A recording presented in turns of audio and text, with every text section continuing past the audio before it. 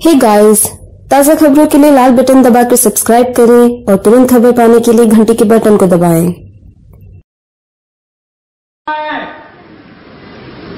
महाराणा बख्तावर सिंह जी को हाथों के मंडलोई कांग्रेस के नेता के परिवार इतिहास गवाह धार ज़िले के सरदारपुर से बीजेपी विधायक वेल सिंह भूरिया एक बार फिर मुसीबत में आ सकते हैं और मुसीबत है उनके खिलाफ कांग्रेस नेता नरेंद्र मंडलोई का 25 करोड़ का मानहानि का नोटिस। दरअसल धार के ग्राम हातेद में सीएम शिवराज सिंह चौहान की सभा के दौरान विधायक वेल सिंह भूरिया ने सार्वजनिक मंच से हाथोद के कांग्रेसी नेता नरेंद्र मांडलोई पर निशाना साधते हुए कहा था कि मांडलोई परिवार ने अमजहेरा के राणा बख्तावर सिंह की हत्या करवाई थी, जिसके बाद नरेंद्र मांडलोई ने आपत्ति भी जताई थी।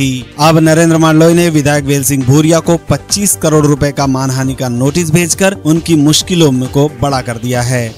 सरदारपुर के विधायक बैल सिंह भूरिया द्वारा उद्बोधन दिया गया था और उन्होंने ये बात मंडलोई परिवार पर आरोप लगाए थे कि राणा बख्तावर सिंह की शहीद होने में मंडलोई परिवार का हाथ है।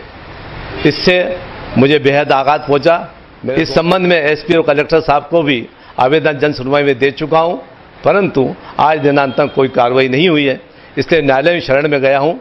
मैंने फौजदारी प्रकरण और 25 करोड़ का मानहानि का मुकदमा उनके खिलाफ दायर करने के लिए नोटिस दिया है। कांग्रेस नेता नरेंद्र मांडलोई का कहना है कि वेल सिंह भूरिया ने इस बयान से उनके परिवार की छवि धूमिल हुई है। लिहाजा उन्होंने वेल सिंह भूरिया को 25 करोड़ का मानहानि का नोटिस भेजा है। वहीं इस मामले में विधायक वेल सिंह भूरिया मीडिया से बचते नज़र आ रहे हैं। देखना है कि इस नोटिस का जवाब भूरिया क्या देते हैं और उनकी मुसीबतें कब खत्म होगी। धार से दीपक विश्वकर्मा की रिपोर्ट, इंडिया अब तक न्यूज़ के लिए।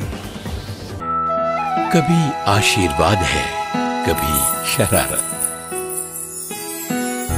कभी प्यार है, कभी रिश्ता।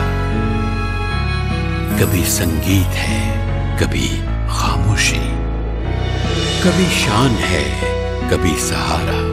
हम जानते हैं गहनों की अहमियत, इसीलिए हम देते हैं 100 प्रतिशत शुद्धता, सही दाम और अटूट भरोसा। रतनलाल सी बाफना ज्वेलर्स भारत वर्ष का स्वर्ण तीर्थ हे गाइस ताज़ा खबरों के लिए लाल बटन दबाकर सब्सक्राइब करें और तुरंत खबर पाने के लिए घंटी के बटन को दबाएँ।